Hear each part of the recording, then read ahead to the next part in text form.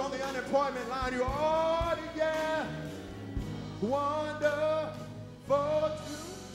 to me. So I'll never, I'll never know. Come on. The first thing that I want to lift up is the lessons in the shaking. The lessons that are in the shaking. Look uh, at verse 6. Look at verse 6 right there. And when they came to Nachon's threshing floor, Uzzah put forth his hand to the ark of God and took hold of it, for the oxen shook it. Now, if you will give me a little uh, exegetical leeway, uh, uh, let me par- uh, parenthetically propose this. I believe God wanted uh, the Ark of the Covenant to shake. I believe God wanted the Ark of the Covenant to shake. Maybe God wanted the Ark of the Covenant to shake because he wanted to show David that you have to stay focused in the process. Uh, maybe he wanted the ark to shake because he wanted to show David that you have to keep your eyes on me. You have to know when I'm moving, you got to move. Maybe he wanted to show David that, hey, you don't have everything in your hand. Yes, you may be the king. Yes, you may have contacts. Yes, you may have networks. Yes, you may have people who will come at your beck and call, but you need to understand that when my presence moves, you need to move. Is there anybody in here who can testify that God, I'll move when you say move. I'll go where you want me to go. I'll do what you want me to do because I recognize that your will is what's best for my life.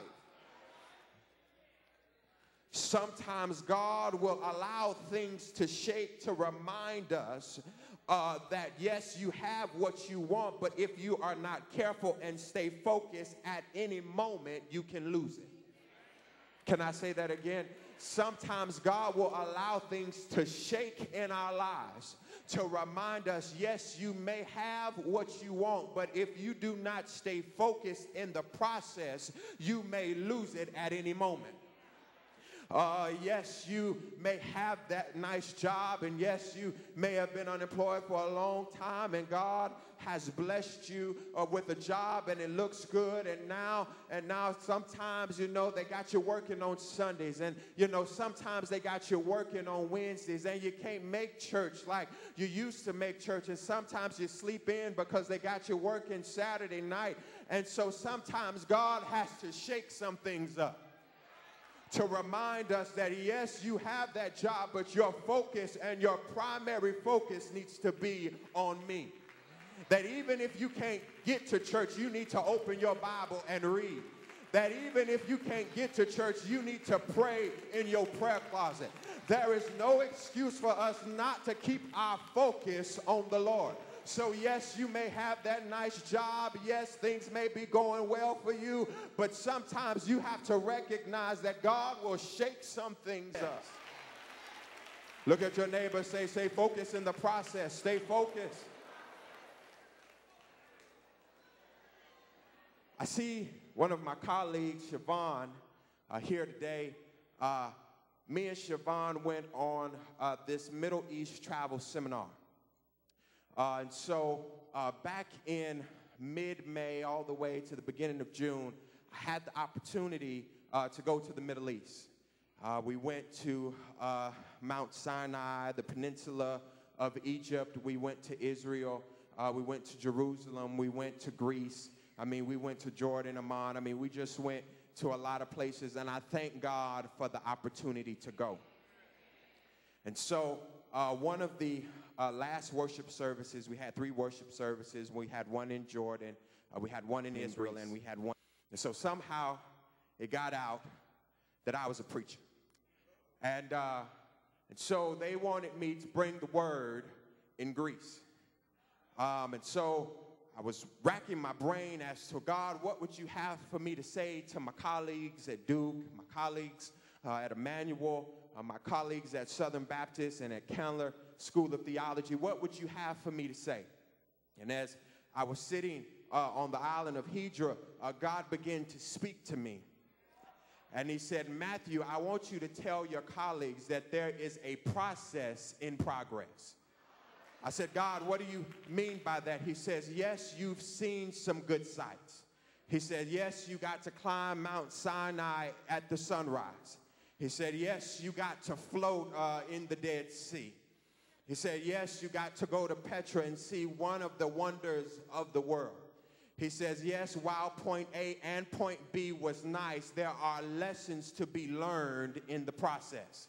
I said, God, what do you mean? He says, Remember when you were walking up Mount Sinai and you were out of breath and you were frustrated, fatigued, agitated because you had to climb over 700 steps. And so uh, remember when you stopped and began to look behind you and you saw how far you've come? and that gave you more energy to continue to go further until you reach the top of Mount Sinai. I said, Yeah, God. I said, God, what's the lesson in that? He said, Matthew, the lesson is don't stop until you get to the top. Listen, I don't know who I'm preaching to, but that's a good lesson for somebody. You want to quit, you want to throw in the towel, you want to, you're irritated, agitated, and frustrated because you're not getting any higher than, think, than you think you ought to. But God wants me to tell you, don't stop until you get to the top because there's a process in progress. It's a process in progress. And so oftentimes we have to understand that God wants to do a work in the process. Uh, uh, uh, on the trip, we were at uh, St. Anne's uh, Church, St. Anne's Church. And in St. Anne's Church, you get to sing. Uh, and so one of my colleagues got, they began to sing Sister Erica Deloney. Uh, Erica goes to school with me. Uh, she's just a great maestro. I mean, she plays keys, sings, does all those good things. And she sung, Great is Thy Faithfulness. So, literally, I'm sitting, standing uh, in Jerusalem, uh, walking in the footsteps of Jesus. And Erica has the nerve to sing, Great is Thy Faithfulness. So I'm trying to stay composed. I'm trying not to break down and just cry and just fall out in the middle of Jerusalem. And so I begin to have a flashback. I begin to remember where God brought me from. I begin to remember point A.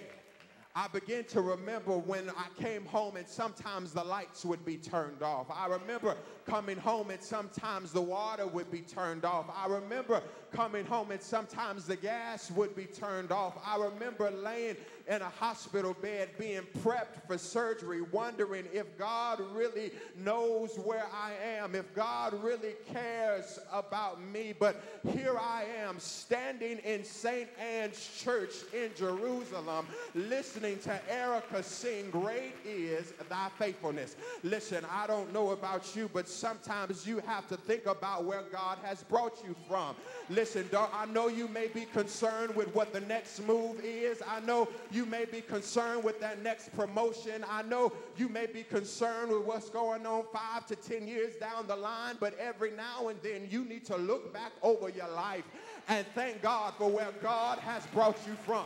Is there anybody in here who can look back over your life and can testify if it had not been for the Lord who was on my side, I would have been swallowed up and destroyed. The devil could have took me out of here, but I thank God because his faithfulness was with me. Is there anybody who knows God's faithfulness has been on your life? Look, you don't look like what you've been through. You done been through hell and high water. Folks have disappointed you. Folks have lied on you. Folks have stabbed you in the back, but here you are, September the 16th, 2012, giving God the glory. Isn't God worthy?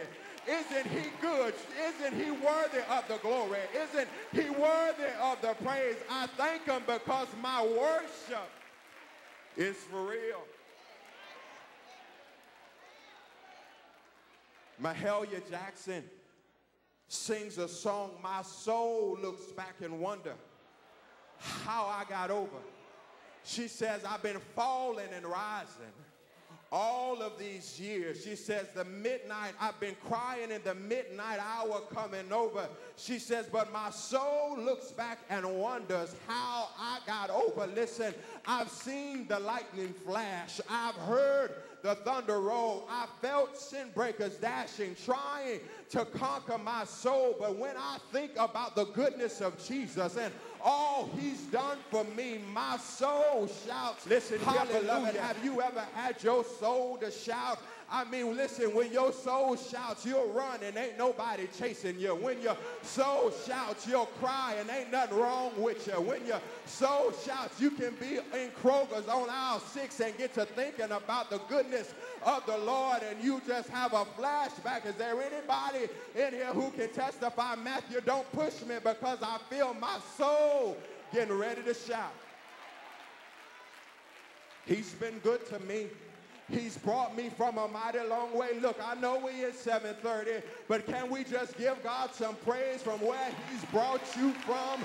Can you just open up your mouth and give God worship because you recognize that great is his faithfulness? Could have been you could have outdoors with no shoes and no clothes, all alone without a friend just another number with a tragic end, but he didn't see fit to let none of these things be because every day by his power, he keeps on blessing me. So I got to say thank you, Lord, for all.